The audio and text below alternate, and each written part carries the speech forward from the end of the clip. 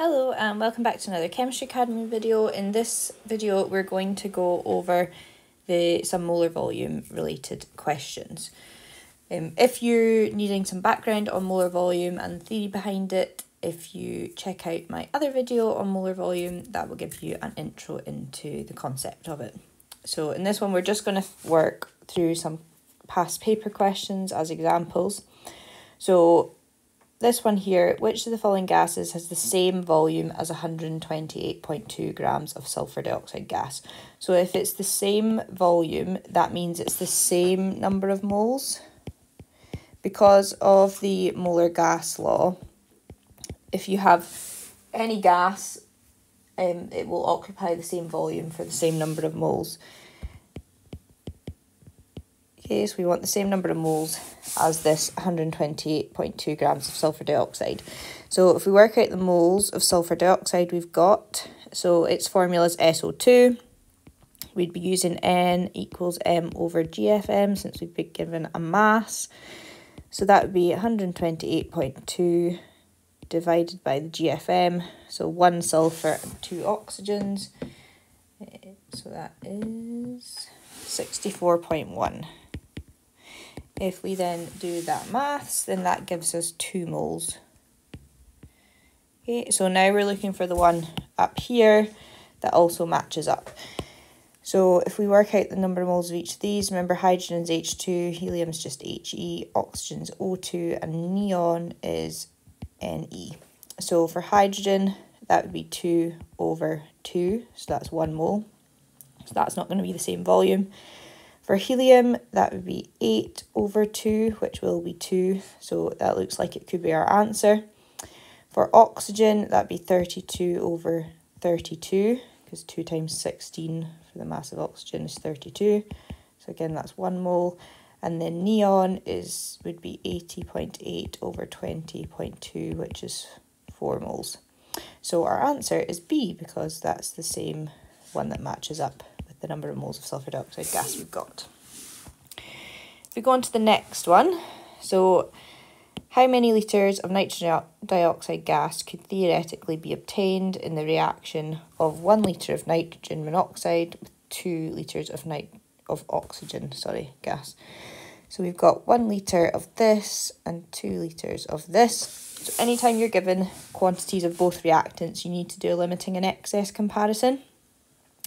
So if we take the reactants, nitrogen oxide, monoxide and oxygen, and the mole ratio for them is 2 to 1. So what that means, if we want to react all of our 1 litre of nitrogen monoxide, we need just half the amount of oxygen based on the mole ratio. So that means we need half a litre of oxygen if it needed in there, we have two litres present. So that's more than we need, which means the oxygen is in excess. So our nitrogen monoxide is the limiting one. So that's the one that's going to dictate how much product we make. So once we've worked out what our limiting reactant is, we're trying to work out how many litres of nitrogen dioxide we can make so because the mole ratio between these two, if I write this down here, so now we're using the limiting versus the product, and it's a 2 to 2 ratio, which can be simplified to 1 to 1. So if we have 1 litre of the nitrogen monoxide, we can make 1 litre of the nitrogen dioxide. Excuse me. Okay, so it's as easy as that. This next question, we've got another reaction. So when 20 centimetres cubed of ethane, as I'm going through this, I'm going to write the volumes that we get given above the chemicals.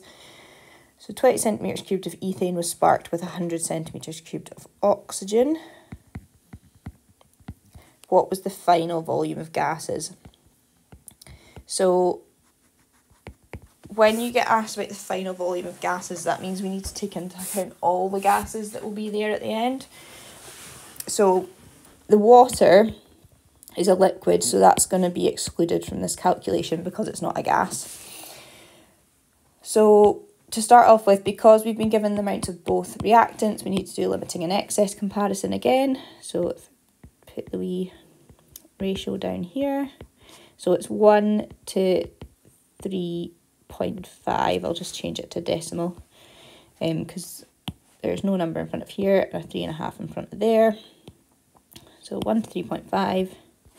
So that means if we want to react all of our 20 centimetres cubed of ethane, we need to have 20 times 3.5 worth of oxygen because of the 1 to 3.5 ratio. So then we would need 70 centimetres cubed of oxygen.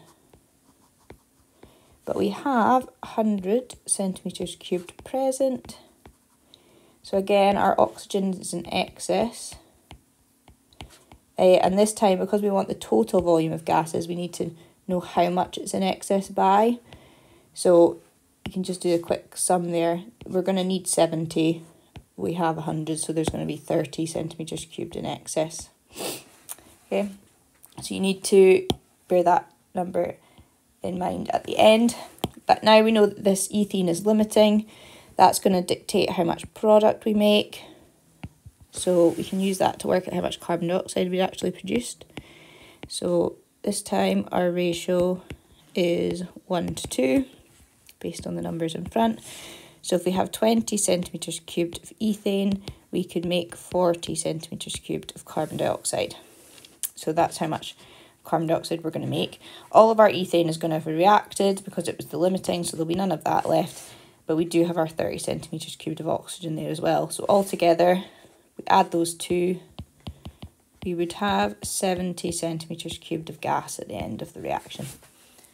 Okay, so it's very similar to the one before. We work out what's the limiting reactant, use that then to find out how much product you make, but because it wants the total volume of gases, you need to add on anything that's in excess. This last question here didn't ask us to do that. However, we would have had one and a half litres of oxygen in excess. So if it did want the total volume of gas at the end of the reaction, it would be the one litre of the nitrogen dioxide plus the one and a half litres of oxygen that was left. This one here is one you typically get in the extended answer section of the exam. So again, as I read through it, I'm just going to write numbers above chemicals. So we've got copper reacting with hot concentrated sulfuric acid to produce sulfur dioxide. Calculate the volume in litres of sulfur dioxide gas. So we want to work out the volume of that. That would be produced when 10 grams of copper reacts with excess concentrated sulfuric acid. So we know which one's our limiting reactant already. We know it's that because it's told us the concentrated sulfuric acid's in excess. And then it tells us the molar volume of sulfur dioxide is 24 litres.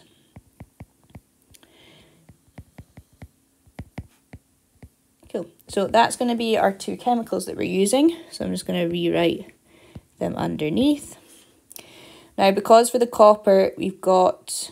Oh, sorry, I'll put the molar ratio in as well. So uh, the mole ratio is 1 to 1.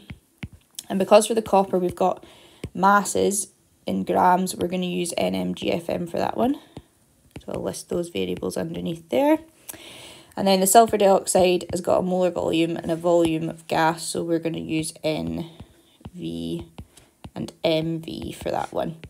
So the N equals M over GFM relationship is in the front of the data booklet. The molar volume relationship isn't, so you just need to try and remember that one, but it's essentially identical to NMGFM, but instead of the M, you've got a V for volume, and instead of GFM, you've got MV for molar volume. What you just need to remember is that your molar volume is in litres, so that means your volume has to be in litres as well. So you'll need to convert your volume to litres if you're given it in centimetres cubed. So we're trying to work out that. We know this is 24. Sorry. Uh, writing the units down helps you remember what the units for the volume are.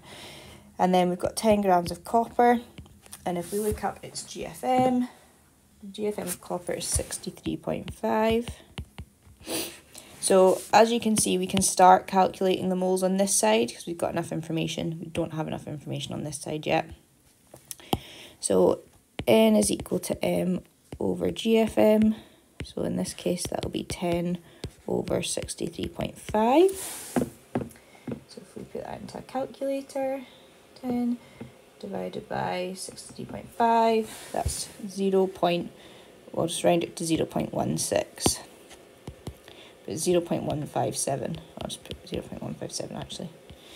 Okay, so that's 0 0.157. Then using the one-to-one mole ratio, that means this would be 0 0.157. And then the volume, this is, uh, if you want the molar volume triangle to remember, uh, this is what it is. Again, very similar to NMGFM1.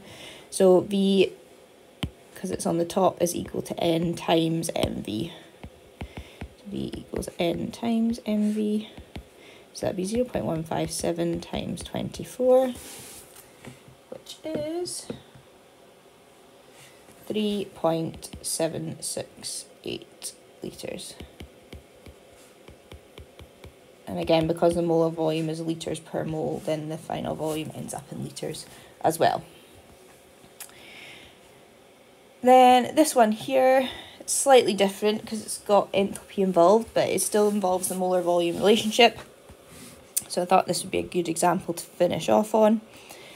So reading through the question, calculate the volume of oxygen. So that's oxygen there, required to provide 418 kilojoules of energy. That's the energy there. And then it says take the molar volume of oxygen to be 24 litres. So I'll put that there. Okay, so that's the sort of two things we're using. So we know at the moment that six moles of oxygen gives us this much energy. So we need to work out how many moles we need for just this much energy. So we're kind of setting up a numerical relationship here. So 6 moles O2 gives 2807 kilojoules. And then we want to work out how much we would need for a bit of a gap here, 418 kilojoules. So we're going to work back this way, scale to 1 kilojoule first, so that would be 6 over 2807, and then multiply up to the 418, so 6 over 2807 times 418.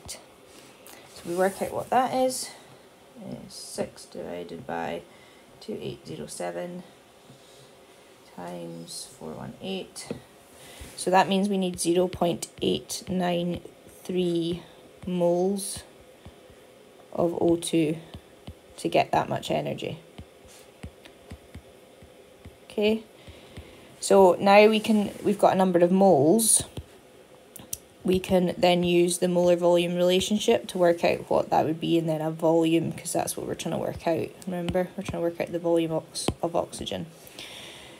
So V is equal to N times MV, which would be 0 0.893 times by 24.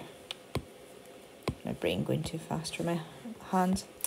So then if we put that into the calculator, we get 21.432 litres.